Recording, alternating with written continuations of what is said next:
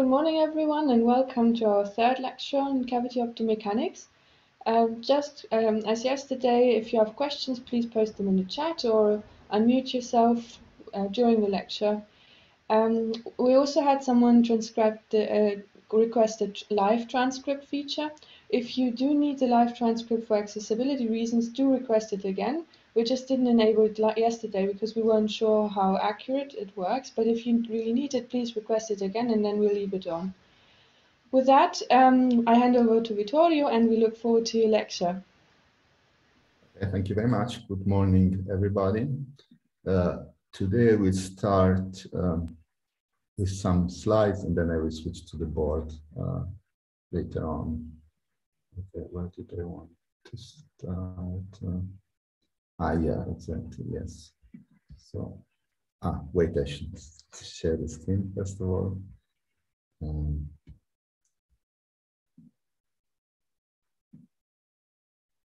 okay. Back to my slide.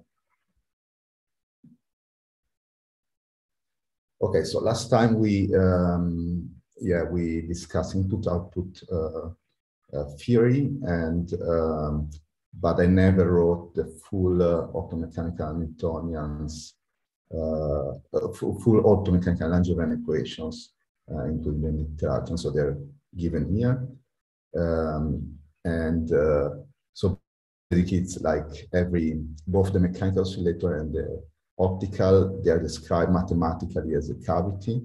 Uh, so the main difference is that now the, um, the mechanical oscillator will, will be coupled to a hot bath. You don't see it yet from, from this equation, but this uh, fluctuation that entering the mechanical oscillator uh, will uh, uh, include also some thermal noise. Um, and uh, then there is this optomechanical coupling um, which is um, basically driving the, the for, for the for the mechanics, it's, uh, it's the radiation pressure force. So basically this is the force, the radiation pressure. Uh, whereas from the point of view of the optics, basically just shift uh, the, the cavity resonance if I have uh, a displacement of the mechanical oscillator. okay, these are my equation and um, I already write them in, instead of term of, in term of the position, in term of the ladder operators. And you see that I can group uh, the optomechanical coupling uh, with the um, uh, basically the sides of the of the zero point fluctuation of, of the mechanical oscillator in a in a single uh, coupling constant that now has the dimension of a frequency, uh, and this is what is called single uh, photon optomechanical coupling. Um, okay, uh, so yeah, there are. Uh, uh, Vittorio, quick yes. question. Sorry.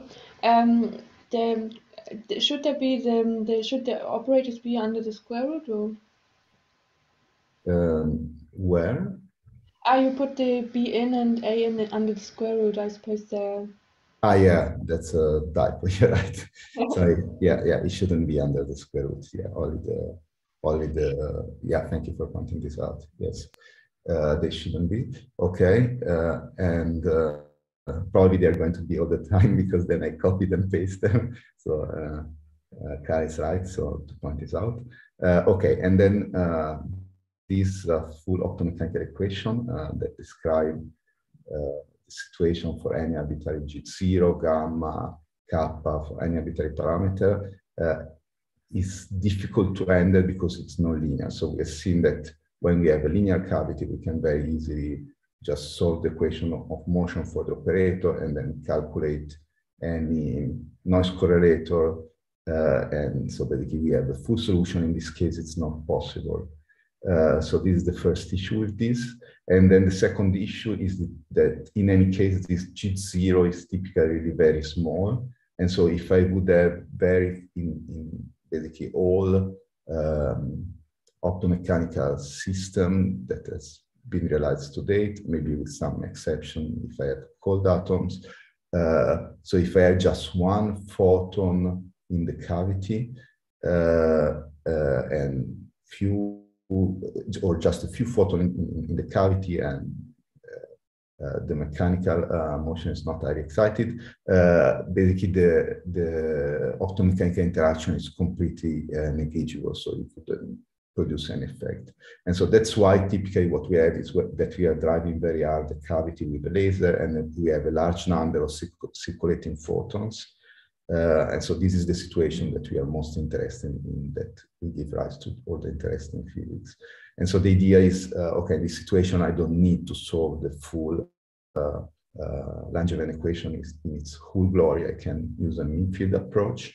And uh, in this case, the, the, this mean field approach consists in two steps. So in, the first step, I calculate what are the mean field, and then I uh, deal uh, rather with the linearized Langevin equation. So I, I will go through these two uh, steps.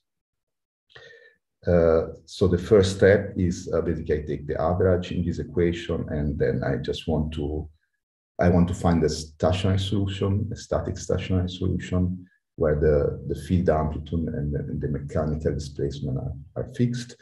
Uh, and basically I just uh, take the average and set the derivative to zero and I arrive to this equation.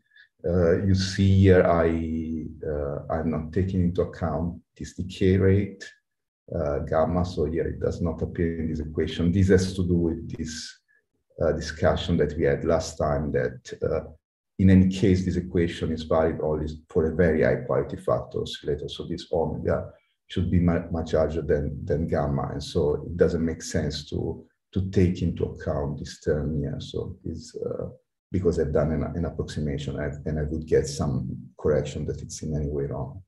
Okay, so this is, I arrive to this equation and I can solve uh, uh, for alpha squared as a function of beta and replace it in the other equation. Um, and then I arrive to this equation and this is, uh, I had already mentioned this, uh, this equation for alpha. It's the same equation that I would uh, uh, find if I consider a, weakly nonlinear oscillator, uh, Duffing oscillator, so with the Kerr nonlinearity. And um, I do rotating wave approximation if the nonlinearity is, uh, and then I arrive at Hamilton. Okay, I arrive at this Kerr Hamiltonian, and then basically I would, if I want to find the stationary amplitude, and I drive this oscillator linearly, and I want to drive the, the, stationary amplitude, I would get exactly the same equation with this uh, uh, to uh, g zero square a square uh, play 2g0 square divided by omega plane the rho of the, of the of the linearity. And then I find this kind of uh, course, so if uh, the, the amplitude, uh, um, if the driving is, is small, uh, um, and uh, then I start to have this bending and this stability. You see it's a third order equation, so it means it can have um, up to three uh, real roots. Uh, and um, uh, but it turns out that one of them is described an unstable solution. So I have just two solutions. This is what we discussed also last time. Okay, now I have this, I've calculated my mean field and uh, the next thing that I do, I, I do an approximation. Uh, so uh, I had this full nonlinear Hamiltonian and uh, basically what I do, I define these uh, fluctuations about the stationary mean field uh, and uh, I replace uh, this, uh, this term in, in my expression of the Hamiltonian and the approximation that I'm doing, I, I will neglect all the terms that um, contain uh, basically all the fluctuations. So three, the cubic term with three fluctuations uh, Hamiltonian. So I will do the same thing also for B. Uh, there will be beta plus delta B, and I neglect the term that uh, that contain three three fluctuations because they these because this term will be proportional to G0, and so they will be negligible because G0 is very small. Uh, and then the idea is that uh, well, I will have some term that contain only one field, but this basically will drop out uh, from my, uh, if I write the corresponding Langevin equation, because they describe um, uh, basically I, I, calculated my alpha in such a way that they would drop out. Uh, otherwise, I wouldn't be close to an attractor. And then I have these quadratic terms here, uh, where, um, uh, okay, I guess this B should appear delta B as well if I have also displacement field, but okay, this is the, the idea. And so you see uh, there are two, uh, yeah, it becomes a completely linear equation. Uh, but now the, the coupling constant is not anymore this zero, but uh, it's multiplied by the, the amplitude of the field, which is the square root of the number of circulating photons, you remember. Uh, and so uh, this is very nice because it means that the fact that I was starting with this nonlinear Hamiltonian uh, uh, means that basically I have offers me a knob to tune the interaction. So I arrive to linear Hamiltonian, which is tunable. I can tune it in two ways. Uh, so by uh, tuning the amplitude, uh, so having more and more photons, uh, and then uh, another thing that it's uh, in principle possible, I, I can also tune the phase of this of this alpha by changing the the by changing the, the driving. Okay, this actually, it's if I have just a single optomechanical system with one optical and one mechanical mode, will not, not be very important, but it will be important in setups where I start to combine many optical and mechanical modes. Okay, maybe I, uh, uh, I explained better here. Uh, so you see this would be the corresponding Langevin equation once I have linearized uh, my interaction. Uh, and uh, so as you see, I have this uh, G, which is now a complex number. But if I have only these two modes and they are not coupled to any other mode, uh, actually what I can do, I can basically absorb the G, this G in the, in the definition of A. I can make a gauge transformation. And so I, uh, ah, by the way, uh, sorry, yeah, I, and from now on, I, instead of writing delta A, I write A just for the sake of uh, having a simpler notation. Yeah, actually it should be delta if, if I want to be consistent with what I was showing before. Uh, okay, but so the, the point that I was commenting, so in principle you have this complex G and this will be important if say, for instance, this cavity is coupled to a different cavity uh, that maybe is driven uh, yeah, or, or, just said it, so it's coupled to a different cavity, this will be important. Uh, uh, I think if I had, I need to have to drive for this to be important also, yeah. I think this is the main key actually. Okay, but in this case, if I have just one optical mode and one mechanical mode and one drive, I have just one phase and I can gauge it away. And so I can arrive to this simple form. Um, and you see, this is just the Langevin equation for two linearly coupled oscillators. So this would be the position of the optical oscillator, and uh, this would be the position of the mechanical oscillator. Uh, so what is uh, um, slightly unusual here is that we are describing a situation out of equilibrium. So if I, uh, this be in, again, thank you, Carl, for pointing this out, this be in shouldn't be under the square root, and this in also not.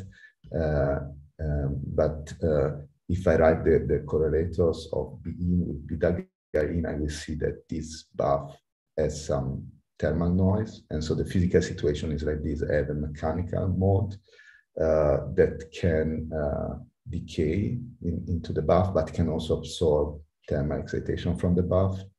And I have a, a, an optical mode that is coupled to uh, to a cold bath uh, and uh, that basically can only but the only effect is that the, the, the, the excitation decay into the cold bath.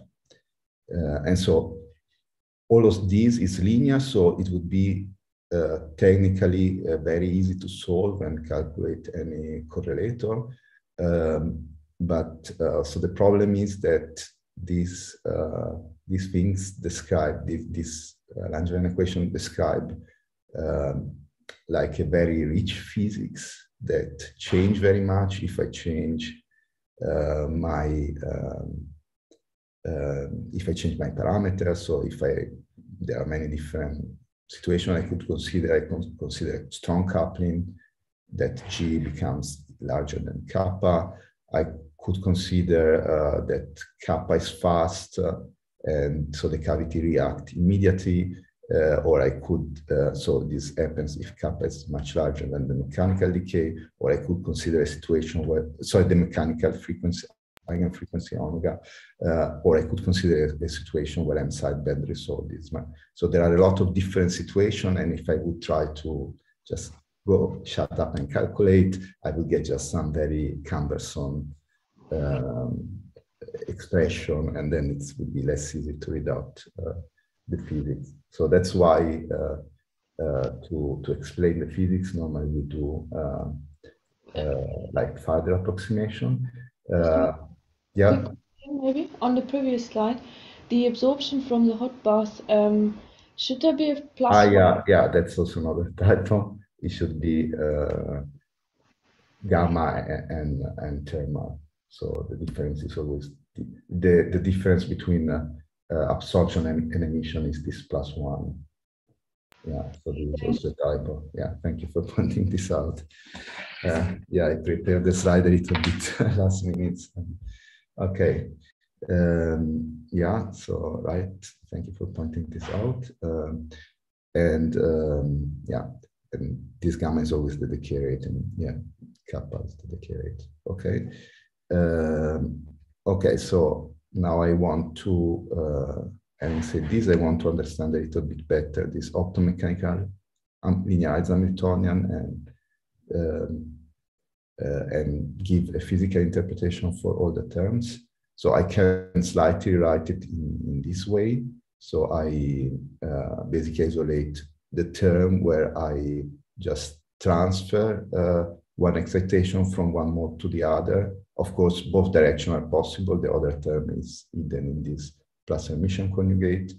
Uh, and then uh, uh, there are terms. And so this term conserves the excitation number.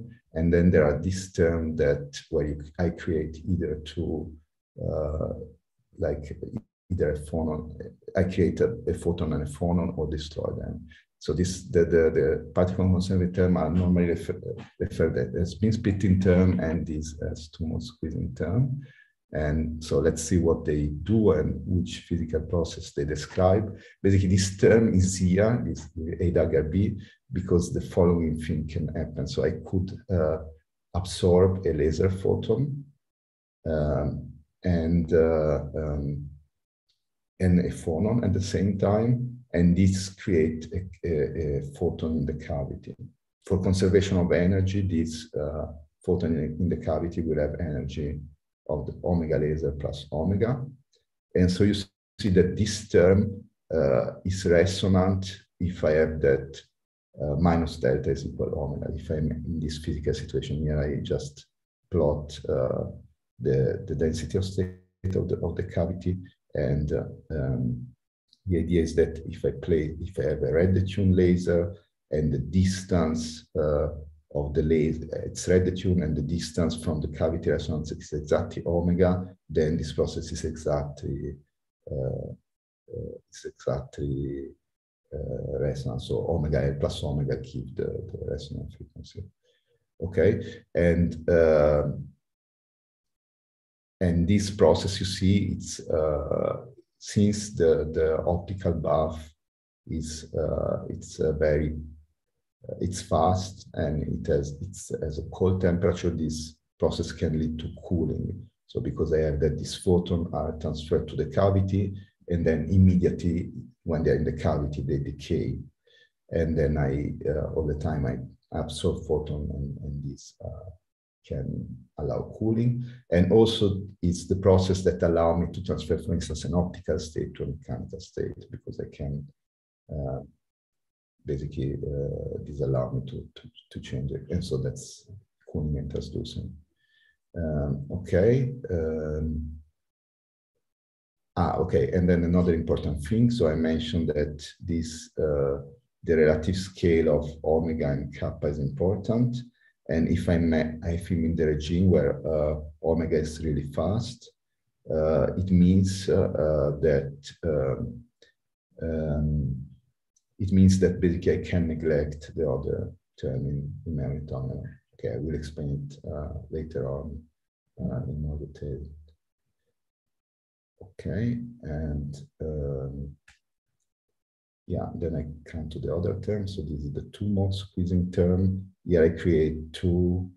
The final outcome is to create a phonon, uh, a, photon and a phonon, and uh, these um, these two um, excitation they actually originally come from a laser photon. And um, to conserve the energy, I have that the cavity photon uh, has the energy of uh, omega laser uh, minus omega. So, you, and so from this you see that its resonance, if the laser uh, is exactly, uh, it's Blue detuned and the distance from the cavity resonance is, resonance is exactly omega. And you see when I was in the red detuned regime and side result, this would be widely out of resonance. That's why I put magnetic.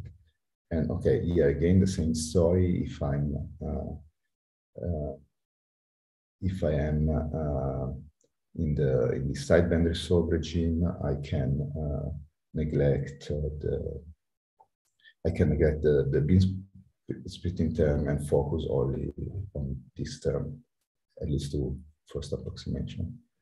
Okay, and then just a reminder because we consider this. So there is another uh, situation that it's very interesting for in optomechanics and occurs many times. And this is when I, uh, instead of picking one uh, uh sideband or the other, uh, I just drive perfectly resonance with the cavity. And in this case, basically, the two terms are like contributing equally. And so I have to keep both of them.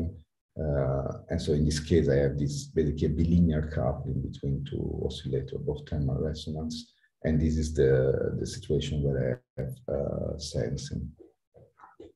And typically this, when, when I'm, uh, uh, when I'm, when I'm in this situation, I typically, it's convenient to be also in, in the, in a situation where, where the cavity is not sideband resolved. Okay, uh, now I wanted to switch uh, to the mode with the tablet and some calculation.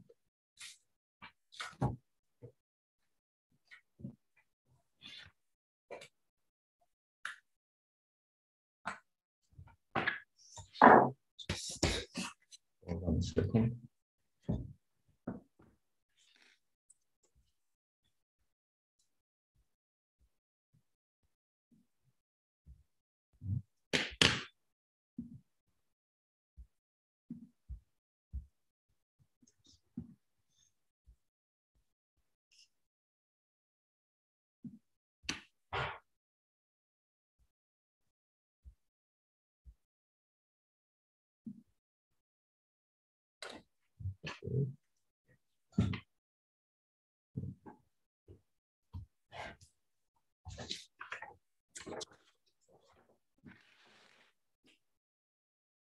Okay, uh, so now I um, want to explain exactly how you eliminate this um, fast oscillating term and do some calculation. Uh, so for instance, to show exactly how I achieve cooling uh, and other things. Okay, so the the first thing I'm going to explain is the, it's really a wall curve. Oh, wait, I, have, I want to change the color of my pen. Otherwise, you're not going to see anything.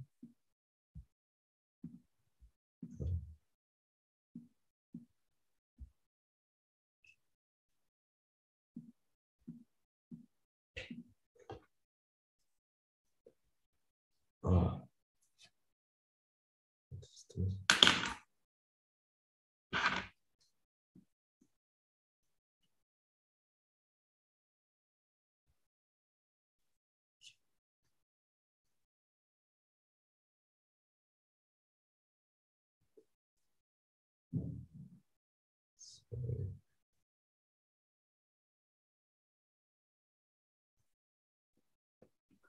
Hey Vittorio, can I just ask a question about what you yes. went through? Yes.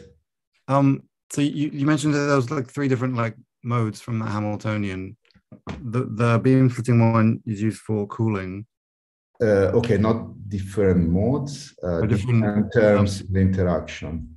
Yeah, sorry, different uh, modes is the wrong word.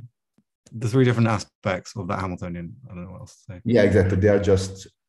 I start with just one term in the Hamiltonian, and then I rewrite it, uh, and um, and then basically when I I rewrite it, um, I I have like basically two different terms. So all, there are always always the complex conjugate terms, but there are two types of terms. So terms that that um, that conserve the particle number and terms that do not conserve. So there are terms where I convert a photon into a phonon uh, and um, um, and uh, I, I convert uh, um, and, and when I convert, it, it, turns when I convert, I create two excitation.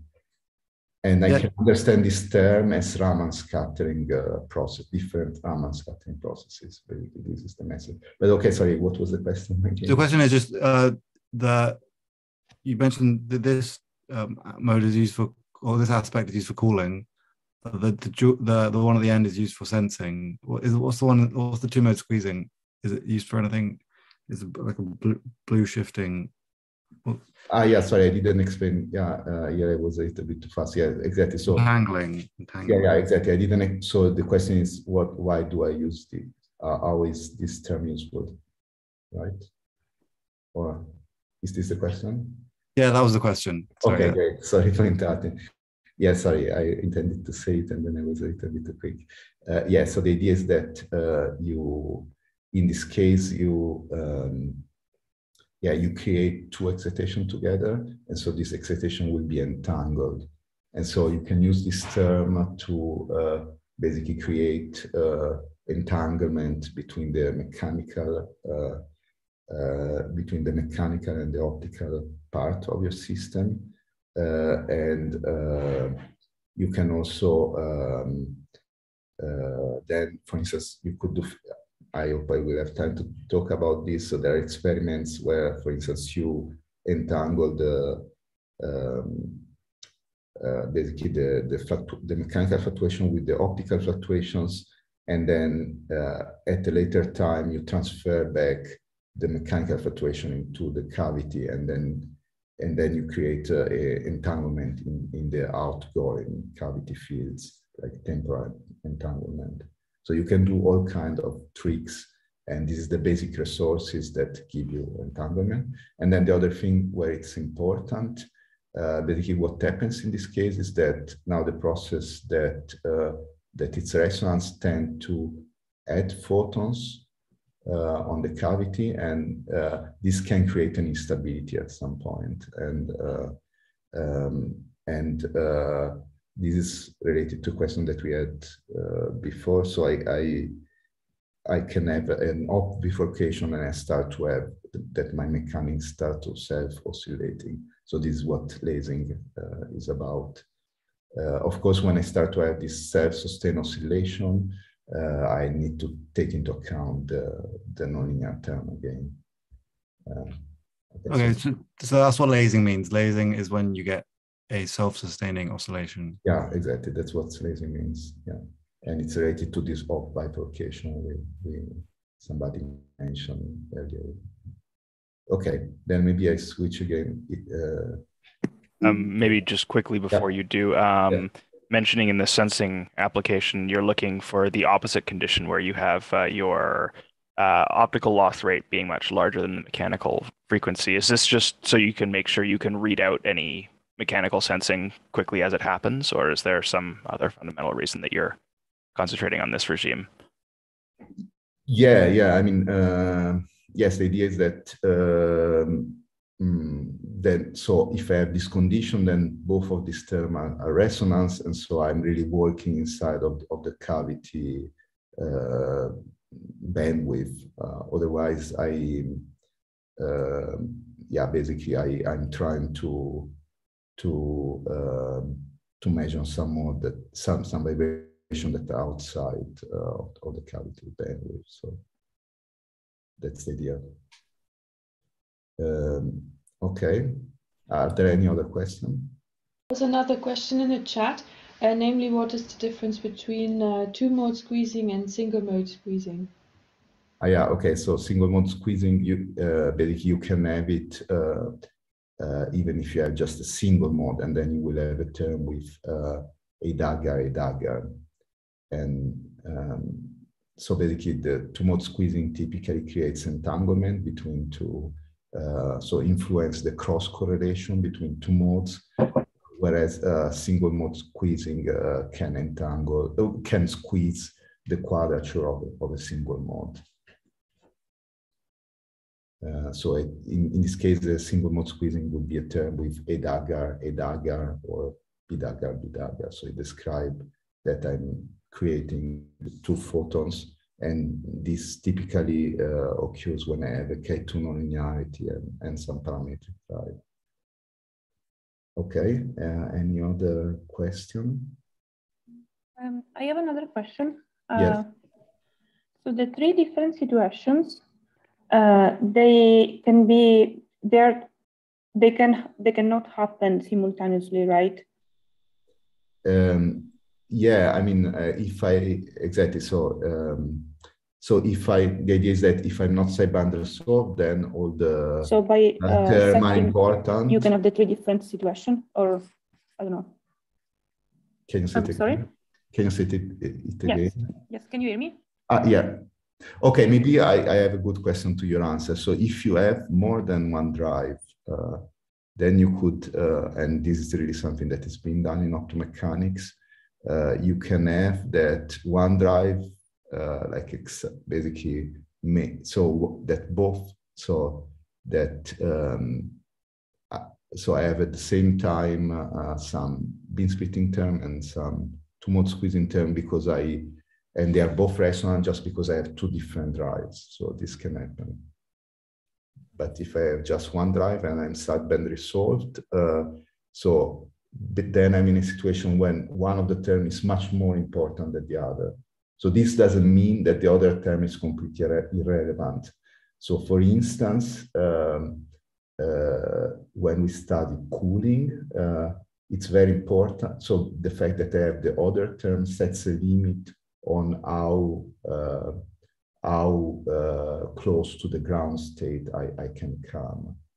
Um, so basically, um, the the number of photon that I can achieve. So at some point, the idea is that I can, if I want to, to cool, okay, this I will explain it later.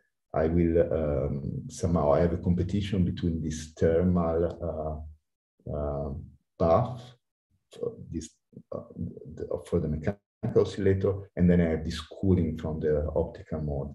And basically, I can say win this competition by just uh, increasing the uh, the coupling. And so then the, um, this cooling, uh, we will really see coming out of, of calculation. The, the cooling, uh, so I can cool faster and faster. And so this decrease the photon number. So I can win this uh, this competition with the hot mechanical bath, but I still have the problem that although these counter-rotating term, these two-mode squeezing term, they are weak, at some point when I arrive at a very small temperature, they start to play a role and they set a limit on, on the on the cooling that I can have. So to get very precise result, I should really use the full Hamiltonian, but to understand the physics, uh, uh, it's always good to try to like consider one, just one of the terms. Uh, does this answer your question? Uh, yeah, and the, and the sensing region is that uh, happening uh, for a different uh, for different in tuning the tuning scale or for a different value always...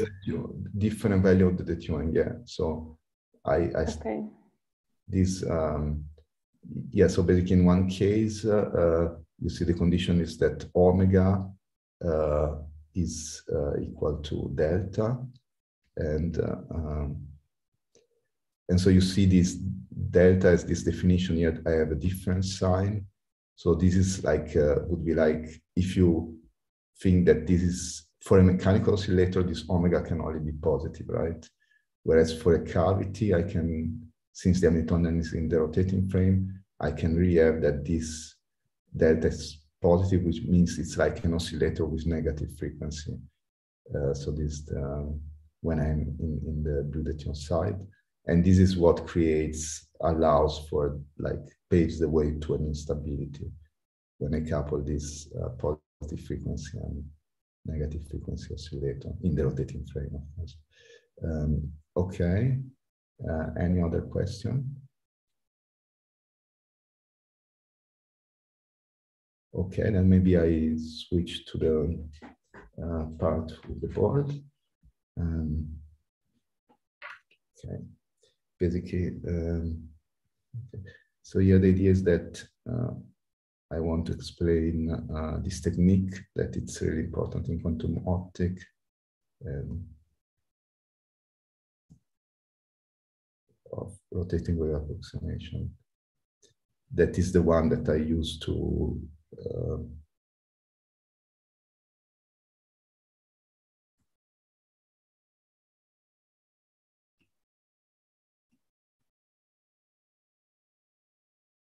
Uh, and the goal is also to do some calculation and show how I get cooling and things like this.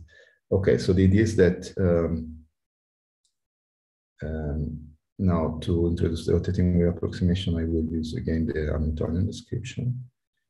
So uh, I start from my linearized Hamiltonian in the rotating frame.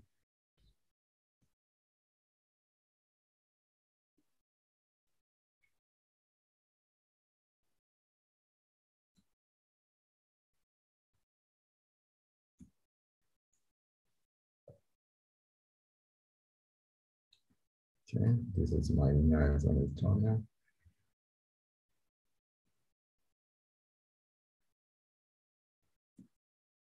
As we discussed, we just had two oscillators that are uh, coupled linearly. Um, and um, and then the idea is that I want to consider the uh, regime where omega is uh, much larger than the decay rate this is important because afterwards I will go back to my Langevin equation and uh, we will see why this is important. And then I want to consider uh, that I'm uh, the situation where the beam splitting terms are resonance, are resonant. So this minus delta is uh, sigma as omega. Okay. And in this case, it is convenient to switch to the following rotating frame. So the idea is that uh, in this Hamiltonian, I also assume that G, uh, uh, not, only G not only kappa, also G should be much smaller than, uh, than omega. So this, uh, uh, so this is something that um, every time that I have a rotating wave approximation, I'm in a physical situation where there is a frequency that is like the largest frequency and all of the frequency are kind of slow. And then in this case, it's convenient to uh, go in a rotating frame where all the frequency are slow. And this I achieve with the following uh, transformation.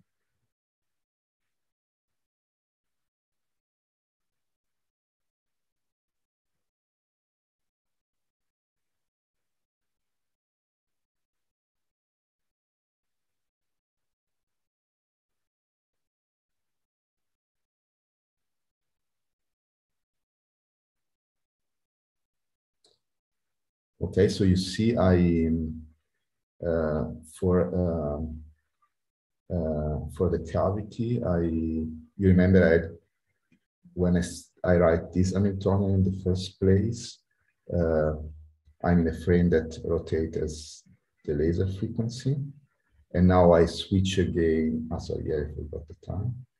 And here I go again to a rotating frame, and uh, I subtract to this frequency uh, basically delta. So uh, now I'm for the cavity, I'm in a frame that rotate as uh, omega cavity, right? You remember delta was defined as omega laser minus omega cavity. And so if I write omega n minus delta, which is what I'm doing here, I, uh, in a frame that rotates at the cavity resonance. So this is what I'm doing. And for the mechanical oscillator, I also switch to the to the same uh, frame. Um, and so which means that you remember that uh, this formula, I have uh, a unitary transformation. Uh, this changes my Hamiltonian, uh, and the new Hamiltonian, the rotating frame, uh, this is uh, changing the following way. So there is the standard uh, formula that would hold for a, for a static unitary transformation. Um, but uh, uh, here I have also some um, um additional term uh, so I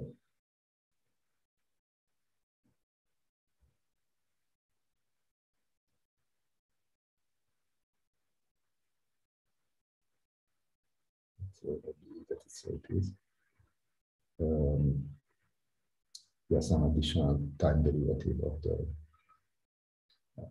and and then basically this term um, uh, basically changes yeah the the, the resonance frequency so I have something like this. So because of this term I will have that uh, uh, I have another term with plus delta dagger a that cancel out this one. So I don't have uh, and so I went in, in basically I subtracted this this this coherent evolution, and then I just for the cavity I just uh, okay, and so I don't have this term anymore, and for this I just have uh, omega, and I also subtract the same plus delta. Uh, and you see, this is now a slow frequency because omega is uh, similar as uh, minus delta. So this is now a very small frequency. Um, and then, okay, uh, another thing that I have to say um, in order to see how this term uh, transform, I have to see how uh, what is UA and U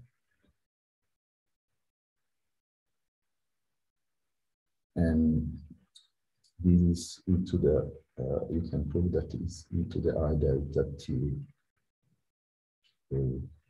So if you want to convince uh, yourself of this formula, uh, just apply uh, this to a Fock state, uh, and uh, you see that for any possible Fock state, you, you very easily get this result.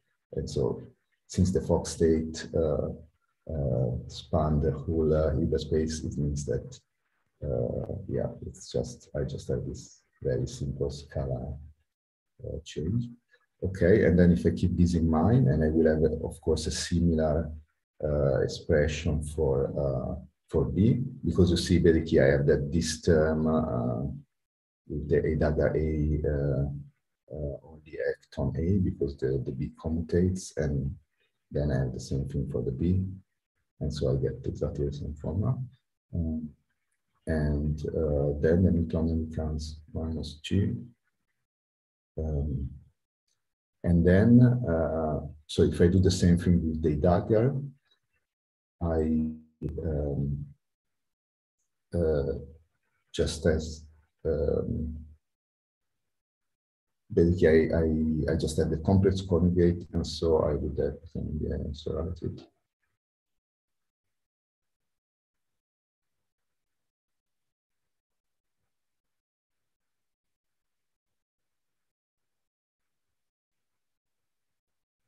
So they rotate at the opposite frequency, which means that if I have term uh, uh, where uh, I have both an A and a B, they are uh, time independent.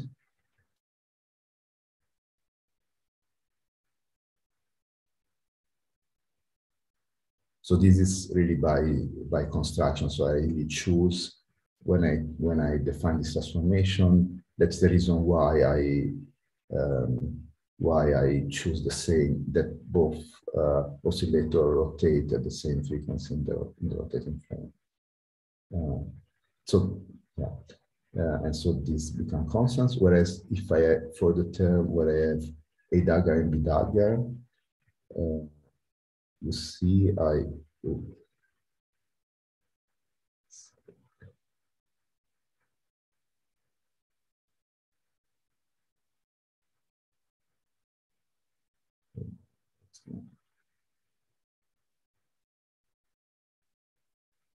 Okay.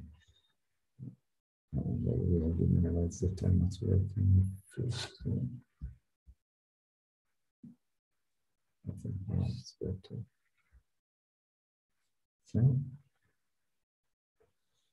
Okay. So um, I can say something that I wanted to write. Um, so I have this term with dagger B. Uh, so this becomes constant in the rotating frame, uh, but then this term with a dagger B dagger, uh, they rotate as frequency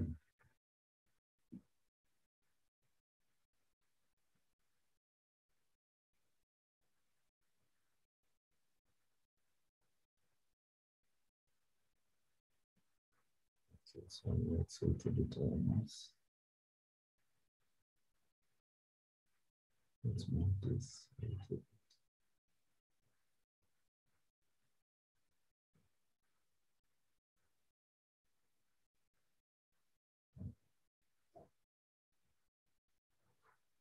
now. Um, okay, so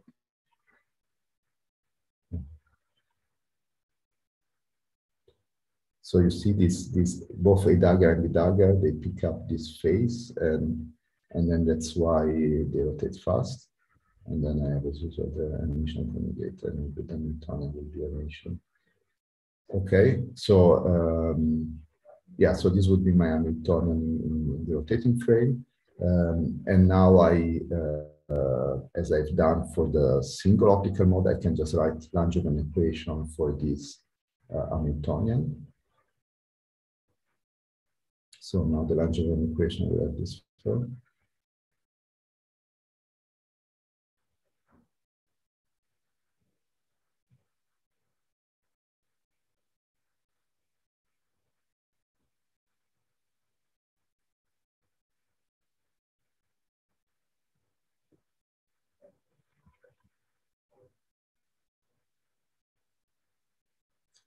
Uh, and then I um, from the interaction, I get the fundamental. Okay,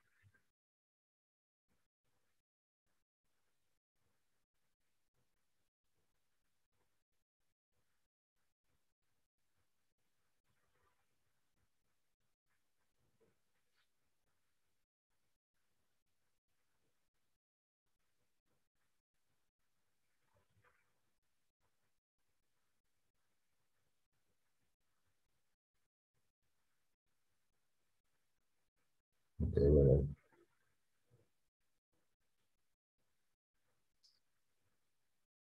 and likewise for B. Here I have this um,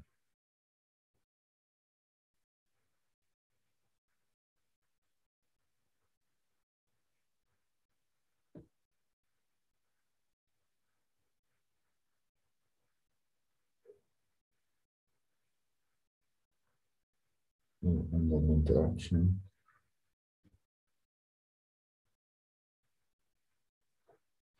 So the optical and the mechanical mode enters in a symmetric way in the Hamiltonian, so I will have exactly the same just with A instead of B.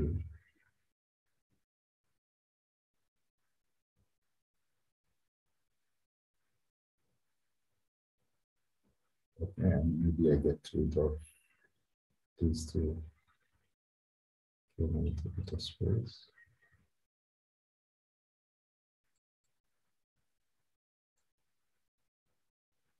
Okay. And then now you see, um, so the idea is that um, here all the frequency that enters in, in this differential equation, they are all small. So it's important that also this k is small. and uh, uh, that's why I, I need the, this condition.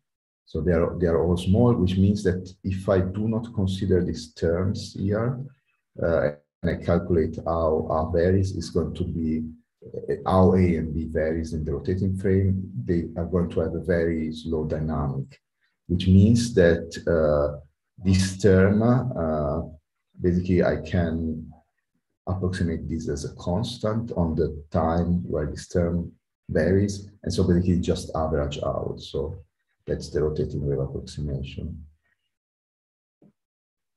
If I uh, have some fast, uh, like a, a, frequency in the problem, in this case omega and delta, which is much larger than the other frequency, is convenient to go in a frame where I uh, basically this frequency does not enter anymore, and then I get some uh, uh, slow dynamics with some fast oscillating term, and I can neglect these fast oscillating terms.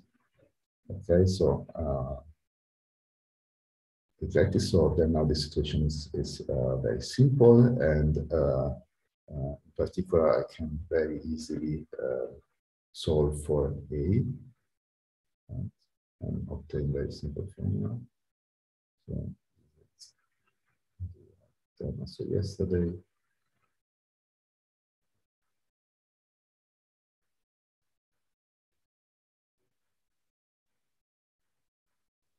So we want to close.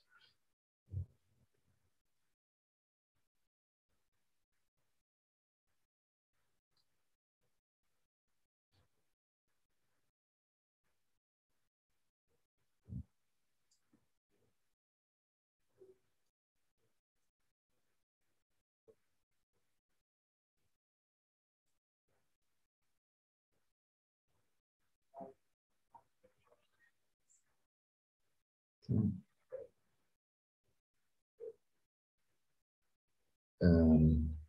okay, and then these multiplies.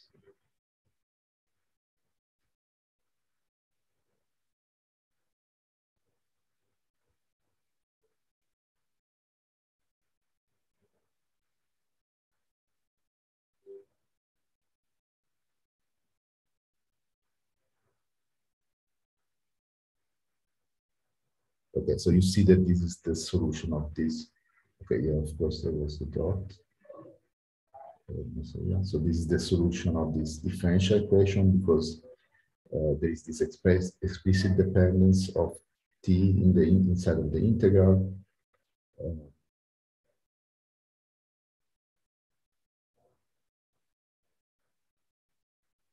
and when I derive, I get this term and uh, then there is this other term. And then when I, uh, instead when I, the, the other term, I get it when I, uh, these other terms, I get it when I take the, the value of the integral at, uh, when I take that t prime is equal to t. Um, okay. Just a couple of quick housekeeping yeah, questions. Yeah, that's all right. Yeah, it should be an answer. Yeah. yeah. Um, in the uh, B uh, dot Langevin equation, uh, the term that's been crossed out, it should be uh, an e to the minus i to delta t. Yeah. Time um, data. Time data. Um, and the integration is with respect to dt prime. Correct? Yeah, and integration with respect to prime. Yeah. Yes, that. Yes. Exactly. Yes. Mm -hmm. Yeah. Okay. Um, so this is my this is my uh, the solution for A, and then the idea is that uh, okay, now I can do another approximation. Um, basically, I do the following approximation that um, so you see this uh, now I'm considering another uh, so it's important to assume an, an, another condition that uh, G is much smaller than kappa. So basically, I, I want to, uh, so my goal is would be also like to investigate cooling.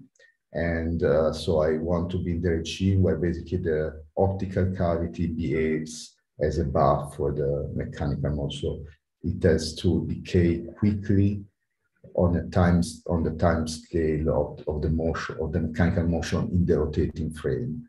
And so basically the condition for this is that this uh, G is much more than kappa. And if I do this, basically I can, uh, in this integral, I can um, uh, basically I can uh, uh, substitute uh, the um, I can replace uh,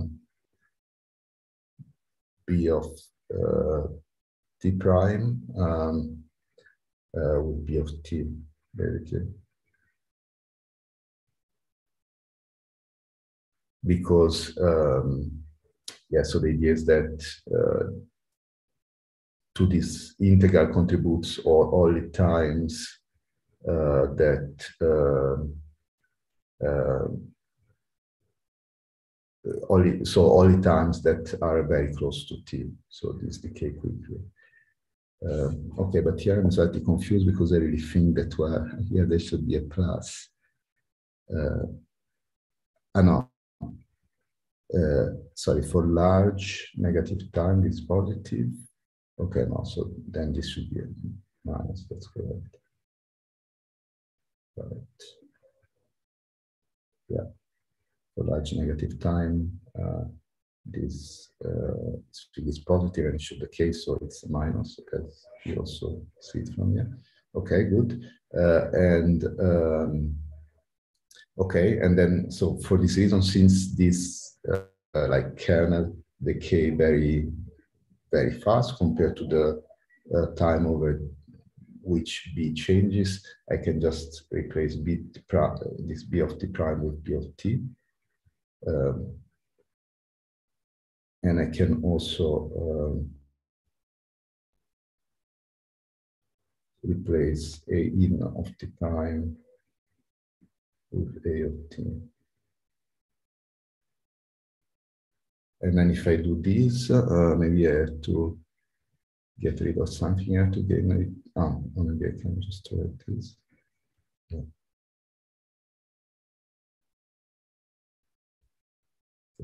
Amending page.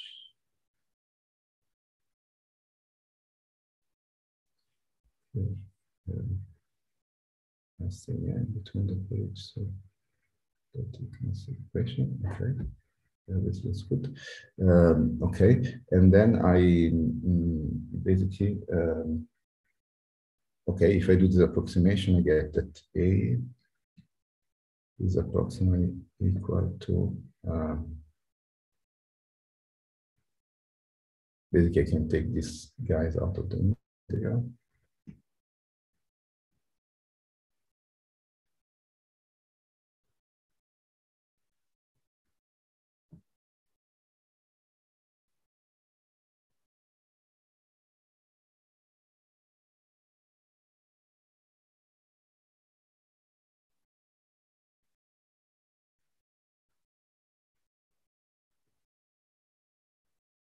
Okay, and um, and then I still have the integral.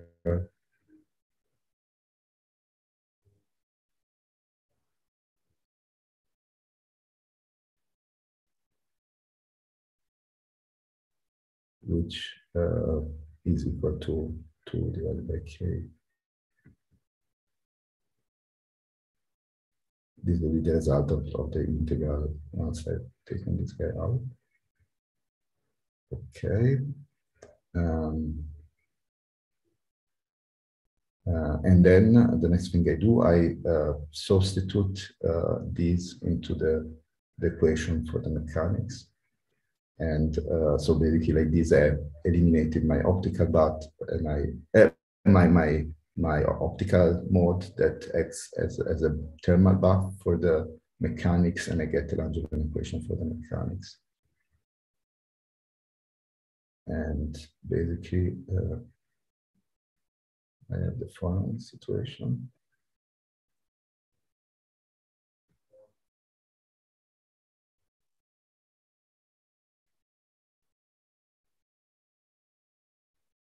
Um, so I have this term that I had also before.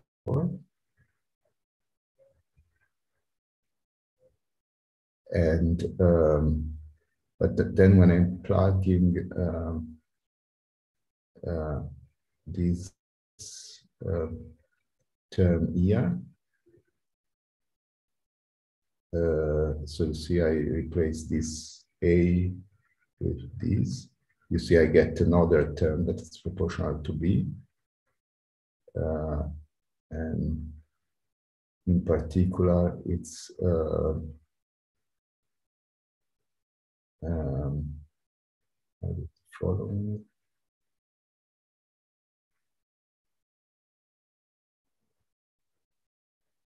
um, take minus square divided by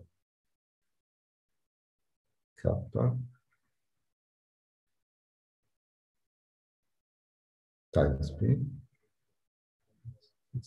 Correct. Ah, sorry.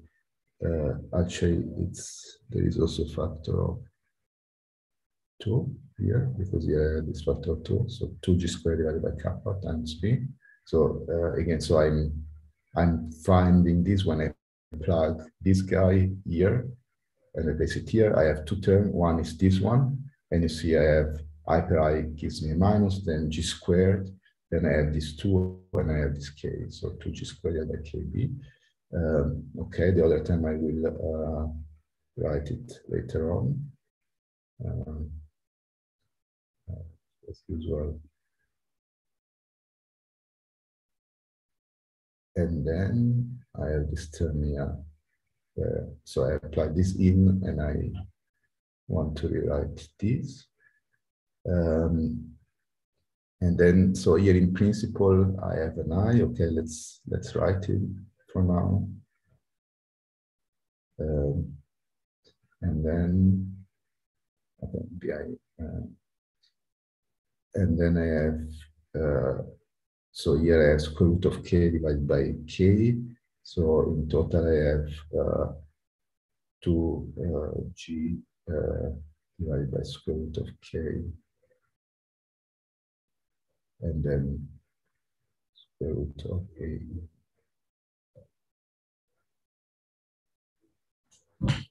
No, sorry. Why square root? okay. Uh, just a. Okay. Okay, so now I'm almost there. I just want to uh, do some uh, form, some definition.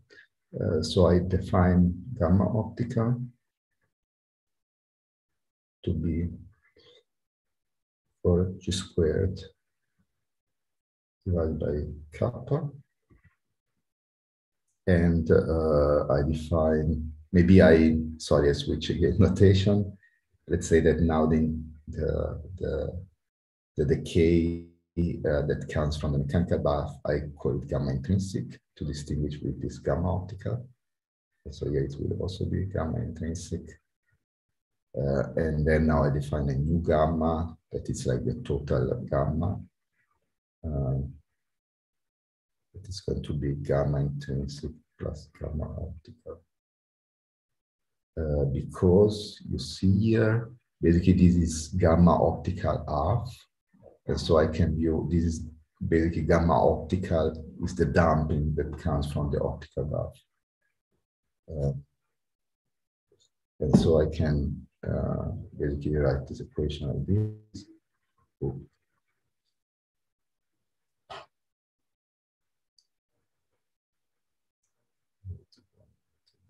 So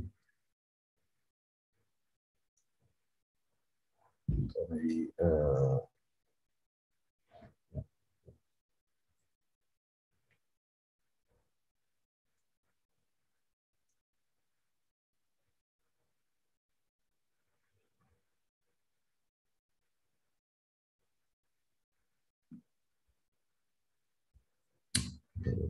sorry, yeah, maybe it was a bad idea to get rid of this, but it's difficult to go back okay, so I just sum up the two term and I get gamma. And then you see that also that this term actually is uh, the square root of gamma optical. If I bring this inside of the square root, uh, the 2g inside of the square root, I can also replace this object by the square root of gamma optical.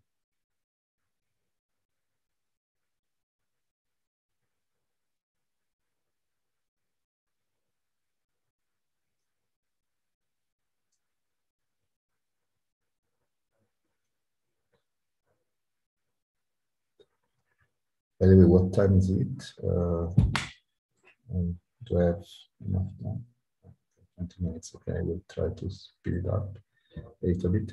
Um, okay, so the idea is that uh, I have this eye. Uh, this eye is not very important. I can make a gauge transformation and get rid of it uh, for the optical bath. Uh, so then let's just get rid of it. Uh, and then I have this this equation, which is, is exactly the same as we had yesterday when we were discussing um, like a cavity with two ports or a cavity with intrinsic dissipation. Now the situation is like this. This cavity is actually my mechanical oscillator. So this should be a mechanical oscillator, but uh, in the input output formalism, I can do it as a cavity. And I have this in field uh, coming in, and then there will be an outfield coming uh, out. I do not have experimentally access to this outfield, but I can define it. And then uh, uh basically the idea is that uh, I can do the cavity as also like another bath that as a port that goes to the mechanical oscillator. Uh, I have that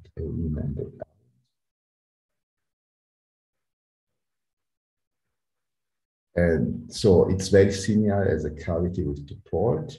Here it's slightly unusual. I have something different. Normally when I have a cavity with two ports, I would have that uh, the two port talks to bath that are the same temperature. Whereas here I have like a hot bath and a, and a cold bath. And this difference uh, appears in the uh, commutation relation of, of this field. I have that uh, B in uh, dagger T uh, B. Uh, it's equal and but uh, now Tigram and the term delta of t minus t prime. Um, whereas for the uh, for the optical field, I have that this is zero, right?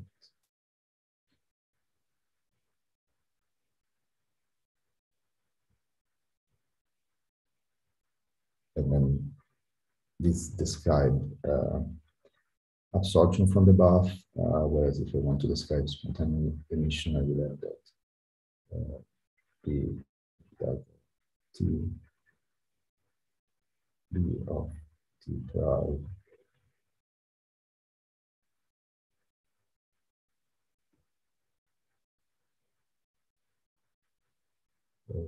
is equal um,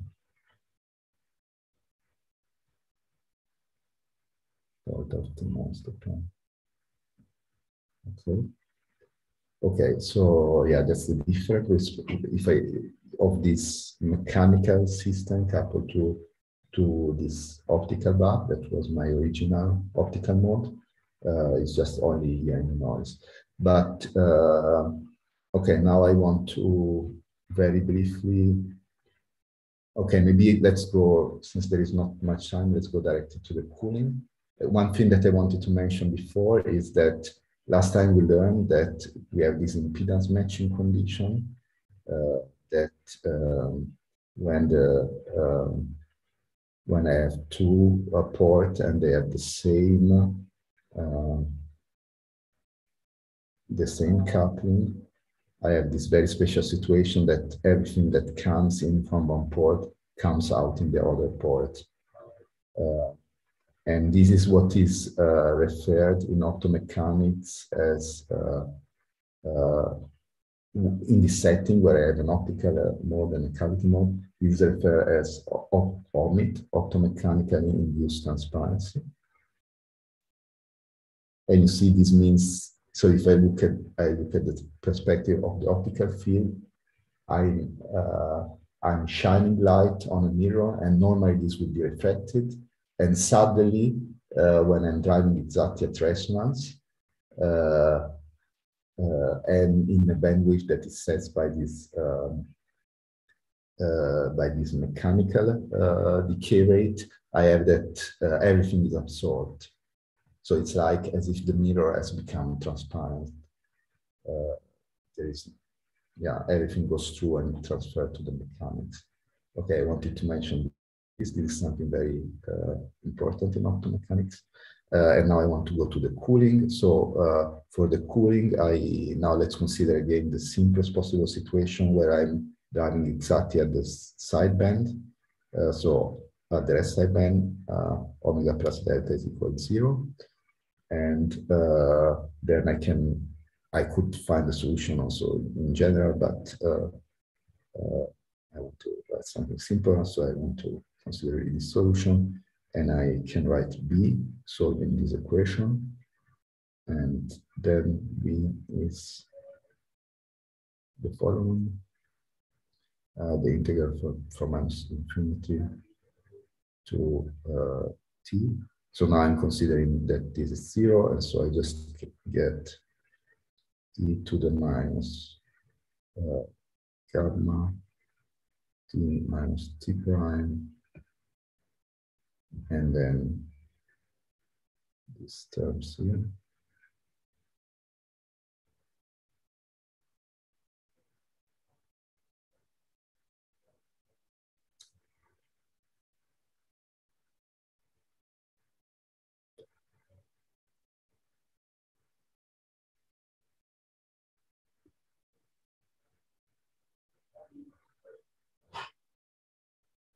Okay. And um, now with the solution, I can easily calculate uh, the number of phonon in the cavity.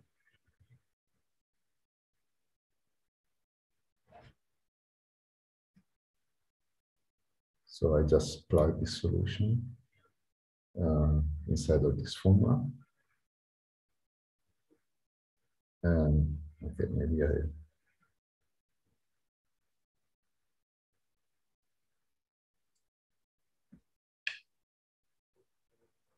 Let's first do.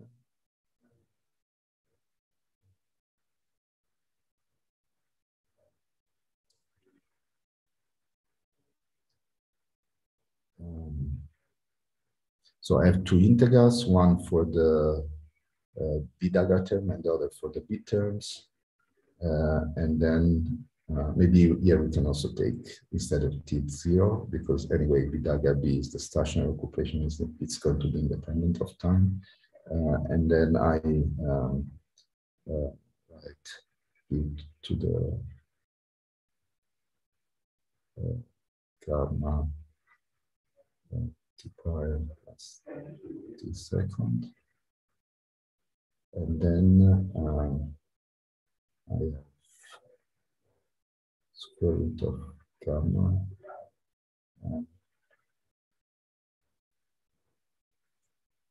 Daga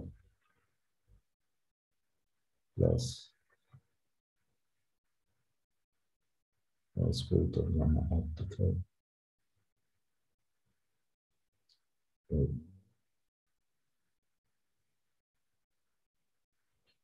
Das ist auch so Daga.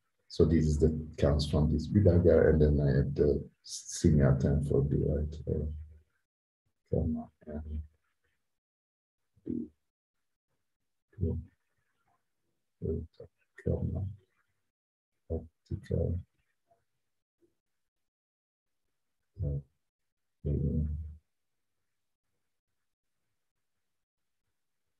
okay, uh, and then the mean value. So this this thing is over inside. Okay, and then um, the idea is that now the B uh, and the A do not uh, basically they they are not correlated. So the and so they can not have any cross term. Uh, and so what I get is integral infinity to zero to pi.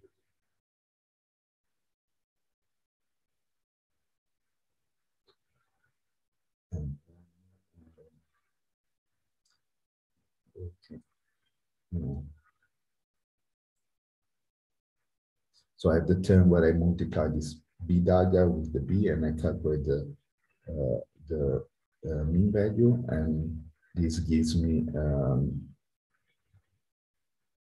uh, gamma n and then uh, and thermal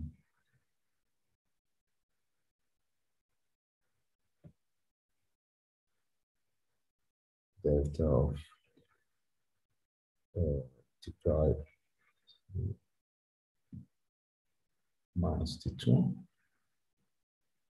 And basically that's it actually because uh, the, the, the, the mean, so the, the, the correlator of a dagger and A is zero because I'm at zero temperature and there are no cross correlations. So the A and the B uh, bath are not uh, correlated. Okay, and then I should not forget this e to the gamma uh, t plus the prime. Uh, yeah, I had forgotten that one half, so it's a to the one. Okay. Uh, now, so I have this delta, so I get rid of the one integral, and so I just get uh, into minus infinity to zero.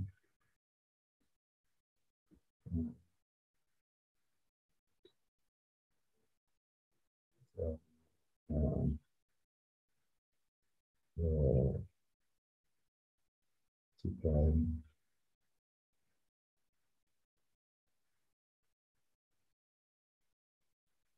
uh, gamma mechanical times m thermal. Okay, so I also calculate the integral. Uh, so this integral is just one over gamma?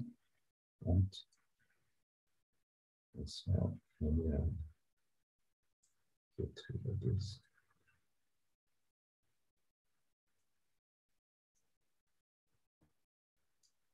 And I have to this.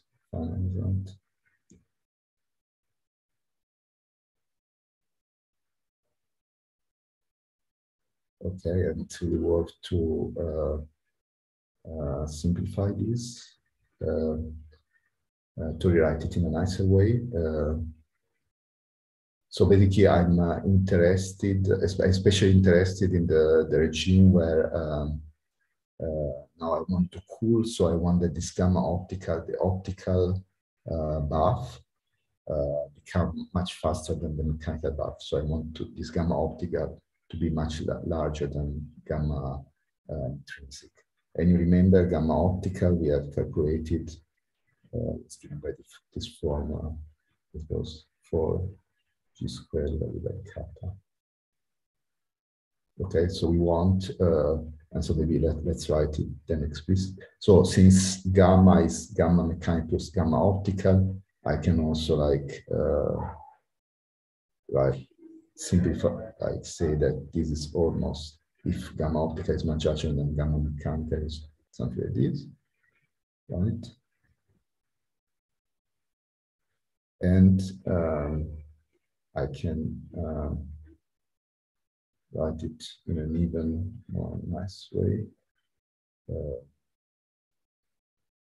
so like this, where this is the cooperativity. Uh, so I, I want to, so this is a quantity that's very important in optomechanics. Uh, and um, if you plug in Gam Gamma Optica, you can read off that this is just um, 4g squared uh, divided by kappa gamma. Which, by the way, you see, it's also, um, okay, um, so you see basically the idea is that the, the, the number of photon is decreased by this cooperativity. And in particular, I can have ground state cooling if I have that uh, uh, the cooperativity, divided by n bar uh, is much larger than one.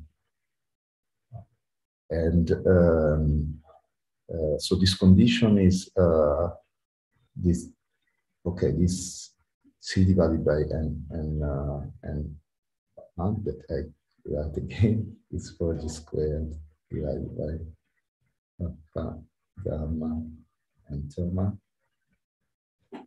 is uh, often referred as quantum cooperativity. So, and this is really always the quantity that you need it to be large if you want to see quantum methods. Um, because, yeah, it has a very, um, very physical meaning. Uh, so again, what I want to add is that 4g squared divided by kappa. So this is the time scale over which the optics act on the mechanics. Uh, basically is uh, much larger. This is still equivalent to this. Uh, is much larger than gamma and thermal. And this is the typical time scale that I need for a phonon to enter the system.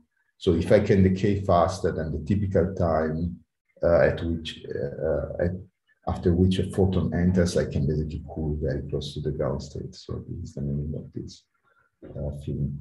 And uh, maybe, uh, so before we also quickly discuss this OMIT, and note that uh, OMIT, so I had this impedance matching that all the light shining uh, uh, on, the system is, I have a one port cavity coupled to mechanics and I shine light and everything gets absorbed. The condition for this was also one. And this, this by the way, is also the condition to uh, have the maximum, what we discussed last time, to have the maximum possible uh, precision. So you remember we discussed these standard quantum limits where we have the imprecision, uh, uh, like we have two type of noise, the, the imprecision, so due to the, uh, that it's just uh, the shot noise of the measurement, uh, but then I have also the back action, this noise that I'm adding because the, the quantum fluctuation act on the mechanics and add noise, is back action noise, and they are exactly, they take the exactly the same value and reach the standard quantum limit of the precision also for when this cooperativity is equal one. So this cooperativity is always the quantity that uh, that enters uh, in basically all uh, optomechanical system. And if I'm talking about all optomechanical phenomena, and if I if I'm talking about um, quantum phenomena, always enters the cooperativity divided by the, the number of of thermal photon in the mechanical buffer. Okay, I guess this was enough for today. Um, are there any questions?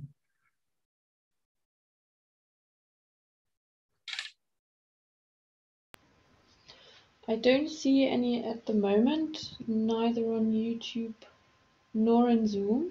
But then again, we've had a really, we've had really quite a lot of great explanations, and uh, maybe this is a good time to take it up, or good uh, time to take, or a good position in the lecture to take it up tomorrow again. So, um, if you have a quick question, there's maybe still one or two minutes. If not, then I would say we thank Vittorio for this really nice lecture today, and we'll see all of you tomorrow. Ah, wait, there is some. There's one question in the chat. Okay, great, great. Is there a standard reference for this calculation? Is there a standard reference for this calculation? So ah, some calculation. Um, well, so to be honest, I, it should be everywhere. Um, so I don't know. I just did it on my blog very quickly before the uh, the lecture. Uh, I'm not sure uh, where it is done exactly this way because there are many ways how you can derive this this kind of results. So maybe I can uh, I, can look it up for next time where exactly to look at this line of of calculation. But the technique that I use are really like all the standard uh, thing that you always do. So you do a rotating wave. So I combine, let's say, many techniques that often uh, uh, appears in quantum optics. So you, uh, So the single pieces you will see it everywhere in uh, in quantum optics books, let's say. So the rotating wave approximation, so uh, and um, uh, so because the the um, in principle you can uh, and actually you should do also the calculation, including also the the counter-rotating term. I mentioned it before during the lecture, and then you can see that actually it's not as the story is not as simple. So you see, as I told the story here, um, I if I increase the the the, uh, the, the interaction strength, but still remaining in the in the weak coupling regime, I I can cool more and more. And uh, but actually, if I also include the counter rotating term, there is also some correction that limits the, the cooling and that uh, depends on the ratio of kappa and uh, omega, basically. Uh, okay, but sorry, now I'm deviating from your question. Yeah, I don't know. I maybe I will look up where uh, somebody where, where there is exactly like this level of approximation that I've done here and in the same form. I'm so I'm not sure where it is. Or otherwise, I can write it neatly and send it to you. So because yeah, this has become a little bit of a mess. Uh, okay, yeah. A lot of there is there are a lot of thank yous in the chat, so I suppose okay. that uh, sounds great. Um, so yeah, thank you very much, Vittorio, and uh, thank you everyone for joining us today. And we'll see you again tomorrow. Okay, thank you very much, Karen. Thank you.